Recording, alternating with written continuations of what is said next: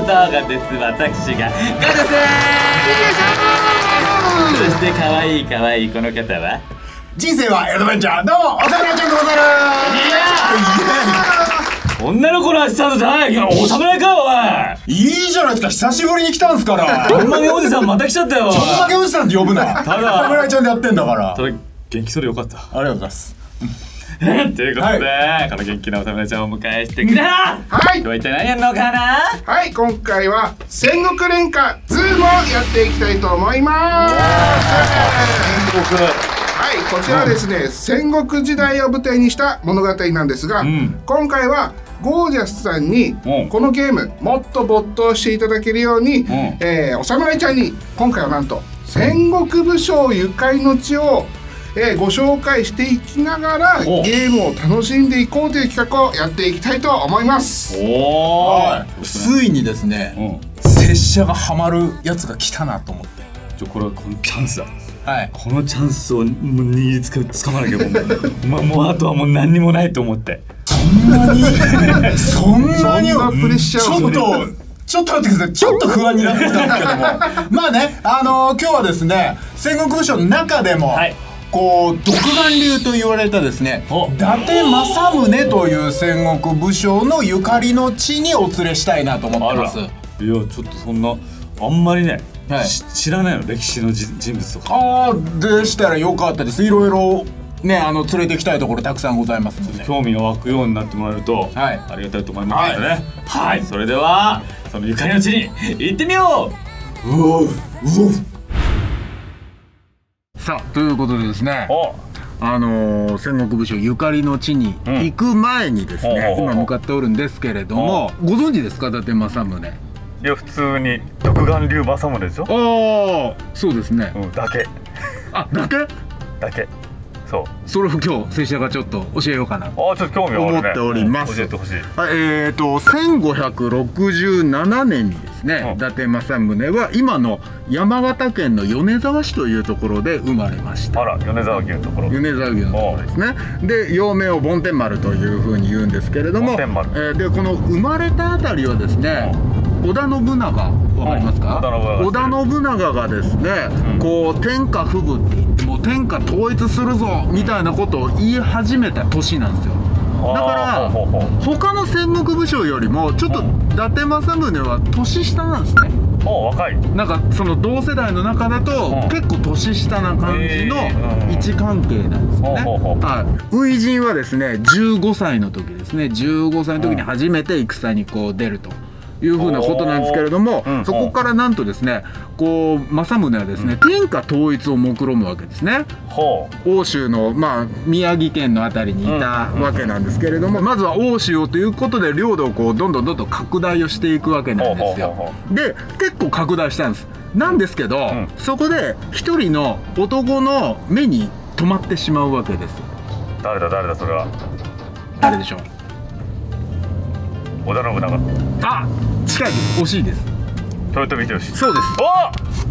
おすごくない？で当時ですね秀吉はうん。めちゃくちゃこう天下統一っていろんな各地をこう自分の領土にしてったわけですよね。猿がね。で、さで秀吉はこうどんどんどんどん領土を広げてってで残ったのが関東とうん。欧州だけになったんですよ。もうそれぐらいを全部統一しちゃってでで関東を攻め落とすよっていうふうなことを全国の大名に言ったわけです、うほうほう。そうすると関東ではすごく、えー名があった北条氏というですね、えーところがいるんですけどそれは小田原城というところにうんうん。今日を構えてるんですね、でもそこみんなで落としちゃおうぜ、うん。全国の大名集合って言って集合したわけででそうなった時に政宗は悩むわけです。ううん。なんで悩むかっていうと政宗はもともとその北条氏と結構つながりがあったんですよ。あれ仲良かった。はい、うん。仲良かったんですけど明らかに秀吉の方がちょっと強えじゃんとうん。いうふうなことになって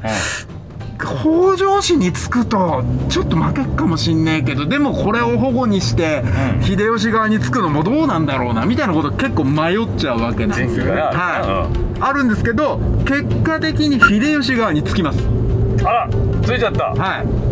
秀吉側についてうん。小田原攻めというのに参戦するんですけど、うんあのーもう悩んでたんで、小田原に着く時には、うん。結構遅いわけですよ、うん。遅刻しちゃってるわけです。よ、はいはいはいはい。でやっぱね当時のね大名の遅刻って、ん。ま結構なことなんですよ。なのでちょっと許してもらおうとうん。政宗は思ったわけです。ようんうんうん。でどうあるパフォーマンスをしたんですけれども、さて問題です。どんなパフォーマンスをしたでしょうか。秀吉に会いに行く時にしょうがねえなと許してやるかというふうなことを政宗はちょっと思っちょっと狙ってたんです。菓子折りを持ってた。菓子折りを持っていく。すいません。遅れました申し訳ないです。これで今の謝り方ですからそんなもんじゃない。もしかしたらこう死ぬかもしれないと。じゃあもう北条の首持ってくしかないでしょこれ。いやもうもうそれぐらいの勢いですよね。では答えを言いましょう。答え教えて。かはい。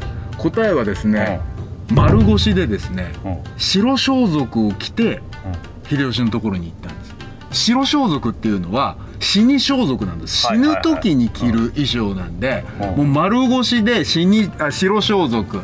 つまりもう大丈夫です。ここで死んでもいいです。あら。死ぬ覚悟はできてますよと。えいうふうなことをやってうん。パフォーマンスをする一世一代のパフォーマンスですよね。遅れてきただけで私はもう、もういいです。いいです。もういいです。死んでもいいですよ、へー。いうようなこと言ってでそれが、うん。結構秀吉もねパフォーマンス好きなんですよ。派手好きなんで、はいはいはい。でそれであなんかちょっと面白いねってなって、じゃあお咎めはあ最小限にしてあげましょうっていうことでなんとか許しを得たわけでまあえーその後ですね江戸時代を決める関ヶ原の戦いというふうなのですはですね徳川家康に、えーの東軍について、で、えー結局ですねその後領土を得まして、えー仙台藩というふうな藩をはい。もらうんですよね。でそこから伊達政宗はもう晩年ですけれども、仙台というふうな都をこう活性化させるためにいろいろ政策をしてで、えー亡くなるというふうなことでしたね。これえ何何歳で死んじゃうの？69歳あでも結構生きてんじゃない？ね68歳ですね。68歳って、はい、で生涯を全うしたということなんですけれども、すごいな、これはちょっといいね。そうです。その、えー伊達がですねいろいろこの東京にもですねゆかりの地がありますのでそれを少しこうご紹介をしていこうかいなやちょっと考えられない。こっちの方にも来てたってことなんです来てますよね。わちょっと知りたいね。そうなんですうん。それをちょっと今からご案内いたします。早く行こう早く、はい。栗原飛ばせ。ちょっと安全運転で安全運転ですから、はい、そろそろ着きますから。はい。はい、おいおさむはい、ここ一体どこだ？ここは秋葉原です。秋葉原？それ？ここ秋葉原の？ででけえんだよな。の？どこ？の？こう神田川です。えこれ？これ神田川？これ神田川です。な何が何があるの？さあこの神田川がですね、伊達政宗ゆかりの地なんですよえ実ははい。聞いたことないよそんなの。こちらですね江戸時代になった時にですね、えー徳川家がですね、うん。こう全国の大名に、ん。お前らちょっとここを城作ってとかここ整備してみたいな割り振りしたんですよ。天下武神というんですうん。その中でこの辺をこう仙台藩が割り振られてん。やったというふうなことで、まあいまだにこのね当時やったのが、うん。まあ残っているという。これは知らなんだぞこれ。はい。まあちなみにですね、戦国連歌ズームでも伊達政宗どんどん活躍されておるんですよ。なんだって？はい。やってみよう。えー、ちょっと見てくおいおいおいおい。これは可愛らしいおい。戦国武将が可愛い女の子になってるじゃないかこれ。おーおーおーおー戦国連が恐るべしなのかな？ちょっと見ていくと。はい。あれ？あ。あ伊達いましたね。伊達政宗、はい。これも可愛い。可愛い。何これ？あプルプルしてるよこれちょっと。本当だ。はいえ？ちょっとあちゃんと布になってるよこれね。はいはい足めちゃくちゃ見えちゃめちゃくちゃ見えてるよ、はい。やすごい。隣これ水着バージョン。あいどこ？目目のやり場に困ってしまう。右のももだけ守る甲冑ってすごいな。ほぼこれも。防御力ないよ。いやこれすごい。はいはいどはんどん見ていくと他にもいるのかないこれ。可愛らしい子が多いこっちだと？はいはいはいえあとあ本田忠勝恩田忠勝知ってます？知らない。これね徳川四天王の一人なんですけど。どうしてんの徳川家康に仕えた四天王っていうの中の一人なんですけどトンボ切りっていうね槍持ってるんですよ。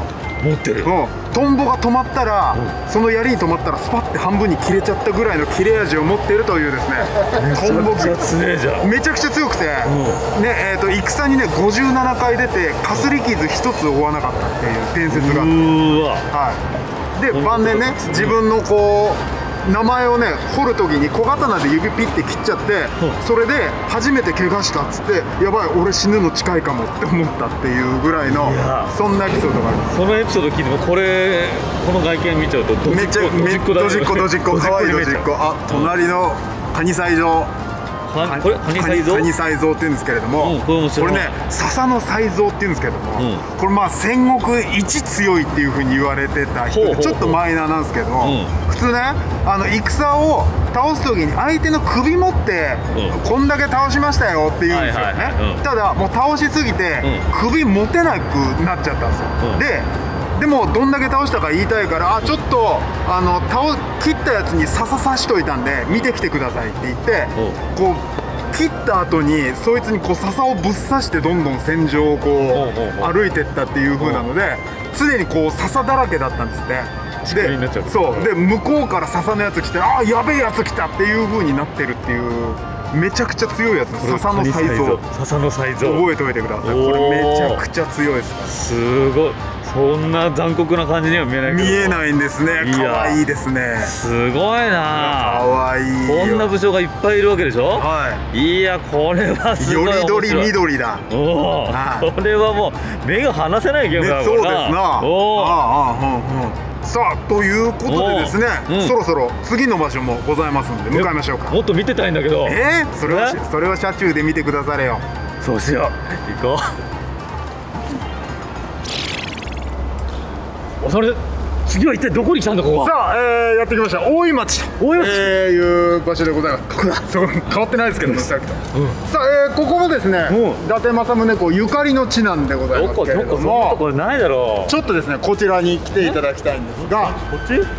旧仙台坂ということなんですね、江戸時代に、えー仙台藩伊達陸奥神の下屋敷があったことからこの坂は仙台坂と呼ばれていましたと。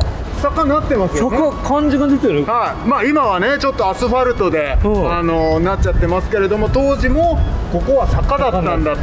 ここ伊達政宗通った。そうですね。うわ。はい。これはすごいことね。そうなんです、うん。で、えーちょっとですねあちらにですね下屋敷ありますからせっかくなんで、ちょっと近くなんで行ってみましょう。ちょっとだけだぞ。はい。はいということでですね、こちらが、えー下屋敷跡という風になっておりましてまあこの辺一帯がっていうことなんですね。後なんだね。はい後。なんです。ないんだ。でこう下屋敷っていうのがですね、うん。あの大名のなんか別荘みたいなイメージをし持っていただければ、ここにー住んでたわけじゃなくて何かこのえー、とちょっと遠出をするとか、うんうんそういう風な時にここを使っていたという風なことなんですね、めちゃくちゃ広いよ。めちゃくちゃ広いんですよ。ガーッとこのでかさでしょ？いやでやっぱこれぐらいのやっぱ伊達という風なのは仙台藩はこれぐらいすごかったんだという風なことでですね、で伊達政宗すごく人望が厚くてですねやっぱその仙台藩を作った時に民からの信頼も厚かったりとか、あと江戸時代に入って徳川の三代将軍家光も全然関係ないけれど、伊達の親父殿という風にあら。おじいちゃんみたいな感じでこう慕ってくれてたという風なですね、うんとにかく信頼は厚かったという風に言われておりますね。あらいいですね人望が厚いというのは私もちょっと後輩からの人望、お。まあ、ちょっと薄めなんではい。ちょっとここは一つ、はい。武将召喚で人望を集めたいと思いますね。お戦国連歌ズームでございますそなの通り、うん。行ってみようはいということで武将召喚でございます、はい。はいはい。はい。今のは SSR 武将の出現確率が2倍。おいいですこれなはいい時に引きますよ、はいはいはい。これね。行きましょうそれでは10回。はい。押す。OK 確認。はい。よっしゃ。お。おシャンシャンシャンと。お。おおどうですか？なんだなんだなんだ。おまずは。1はいどんどん行きましょう。レアですねこれね。レアですよ。お真田真田幸村あこれもでもレアですね。レア。レア。うん。ハチスカコロこれは？三好イサニュードついにせイサニュードお柳生十兵衛だ。うんこちらも眼帯します。剣術強かったですね。剣術が強い。うん。石田三成。おいいです聞いたこねとあるよ。島津豊久おお薩摩ですね。かわいい。うんこれは上杉謙信。うますぎレア謙信ですうねますぎじゃない？上杉ですね。ねあ。島津さっきも出た。SR ですね。あ SR おこれ西賀守一。これ鉄砲。鉄砲使いですよ。聞いたことある。あーというさあこととでいうことでした。いいじゃないですか。でもレアばっかりですから。SR でもね。SR 出ましたね。ね、もう一はい回行きましょうか。もう一回はい。参りましょう。行きましょう、再度召喚はい。確認行ってみましょう。はいシャンシャンシャン。この時点で何かしらの演出があればさ来るんじゃないか。あ。さあさあ SR お。お SR 出だしいいじゃないですか。かね。うん。おこれは。これや。伊達。伊達伊が達伊達が出ました。だいいじゃない。伊達のレアがレイヤーそして。新面新面無二。これああの武蔵の父親と言われてる。あら。宮本武蔵。母親になっちゃうのかな細川忠お。興レアですね。レアです。はい。レア黒田官兵衛。お聞いたことある。秀吉の軍師ですね。はい。SR SR 前田利家。お。おうん。五大老の一人ですね。石田三お久々成。にさっきも出ました。SSR が出る分今川義元。お。いいですね。ペロリペロリしてますね。はい。さあ。ジライヤジライア。胸すごっ。これはあ SR ニュードニュー SR ニュードですねさあということでございましてさあ2個あ三つですね。三つ出てますね。はいはいはい。SSR はちょっと見てみたいですね。次。はい。出します。はい。行きましょう。さあおおどう？なんかどう？ヨーデとどう？どう？ほら。ああ色違う。ほら。色違う。赤でしたよ。さあ。ちょっと期待ができそうこれはもう来上てる。完全に来てるおか上杉。開発石石田ちゃん。石田ちゃんは SR おね。入道。うん。入道です。ちょっと色違ってたの気になるな。お丹波。いいなトラ。ほら来るんじゃない？そろそろ。長宗我部長宗我部四国統一しましたね。はい。十兵衛。生十兵衛。うん。どう？どう？どうなの？長宗我部どうなの？き来た長宗我部ー長宗我部元親ですね。どっちか SSR 出まし出またした。出ましたまさかの長宗我これ。めちゃくちゃ粘りましたね。い。やでもそういうもんだよ。でもよかった。うん。すごいですね。いい引きしましたね。可愛い長宗我部出ました、はい。ありがとうございます。じゃあそろそろ次の場所に参りましょうか。おまだまだあるの？ありますよ。もう早く行こう。もう行きましょう。日が暮れちゃうからそうですね。早く。おうあちらでございます。あっちかはい。よしこさあそれではですね次のスポットにこう向かっておるわけなんですけどどうどうしました？おお腹痛いですか？なんかお腹空いたな。え？もう結構夜中になってってはい。お腹空いてきちゃったな。あそうですか？そうですかじゃない。そうですか。おう。ああるんですけど食べます？え何があんのよ。伊達政宗が愛したと言われる。たらこ飯ちょっとご用意したんですけど。はい、腹こ飯？はい、何これ？こちらでございます。たらこ飯。そうですか。食べていい？はい。い。いですよ。こんな感じですよこれ。おおすごい。宝箱だあ宝石箱の言い方をちょっと変えましたね。騙されませんのすよごいぞこれ。ちょっと食べてみていいですかはいは。いこはい。れ鮭紅鮭とはい。いくらの。はい駅弁のタイプにした感じですね、うん。はい。ちょっととりあえずはい鮭いただきます、はいすんごい。うますぎた玄白。あやべ拙者のやつ取られてる。いやマジうまい。これえこれ一緒に食べてさらに美味しいってこと？そうですね。ぜひこのイクラもですね。う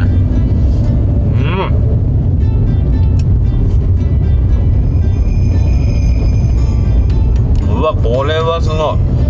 うん。なんか元気が出てきたな。あら。ちょっと戦いたくなってきちゃったな。お戦国連歌ズームでございますな。行ってみようか。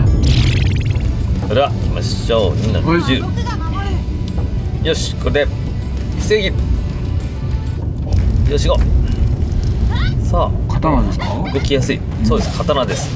刀振って、こういう技も使って。おおほらこれ疾走感があるよこれ。危あない。操作もそんなに難しいそう簡単で。ね。ね技をね打っていくタイミングです。よほら。おおいい。うまっ。いっぱいいる時にねましょうはいはおーで次のエリアに移動しいます、はい。これ3人1パーティーみたいなそうなんですね。違うキャラさっき出した。お。焦燥壁。おおおおおこれは槍？ですか？槍ですねこれね。うん。あチが長い。いですね。さおおおーな波が出た？あ雨が出た。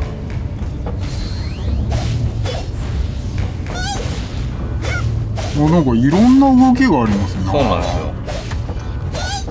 キャラごとにね飽きない、イエスおいおいさあボスですね。お。いやこれでこのままいこうかじゃあ。はい。邪魔なもの来たは全部消しちゃうよ。ま長川吉本ま魔の魔の権限とかしている。わあ食らったさあド派手に。おおすごい。どう？水？お食らった結構食らったあ結構食らってる。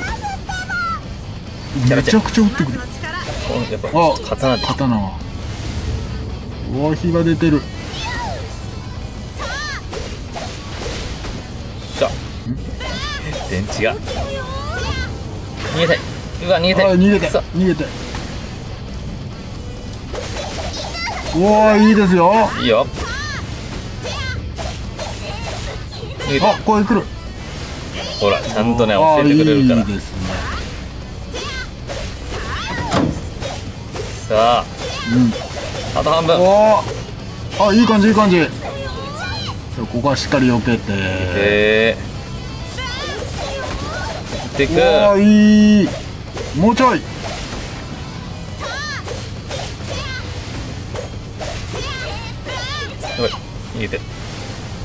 さあ最後。こうやってそう落ち着いて。やったー！やったオーー！私は役に立っててよかったよ。あかっこいい。いやいやー勝利でございますよ。はいということでうん。腹こ飯を食べてはい。エネルギーつければもう全然もう勝ち進むことができるというさす証明されたがでございますね。うん。うん。さあということでですね本日最後の場所に着きました。えこれここからもう、もう真っ暗で見えないよこれ。これもう照明が強すぎて見えないですよ。外が単純に。うん。はい。ちょっと外行きましょう。行きましょうか。はい。さあということでですね最後の時に着きました。どこだまたまたどこなんだこれ、はいちょっと見覚えないですかね。おい。はい。日本テレビじゃねえかあれは。そうなんですよ最近全然行ってないですね。いやいやいや。俺は全然行かねえな。プライベートで来てるぞ。いやいやそういう自慢じゃないんですけれども。ここら何ここらここがですね仙台藩の神屋敷があった場所なんですね。ここら辺が、はい。神屋敷というのは、うん。まあその地元からですね奥さんとかをを連れてきた時にこう住まわせるような、まあ、実際住んでいたというような邸宅なんですよこんな高いビルに？いやたビルはないんですよ。こここの土地ここの土地にあったってことあうっかりしてた。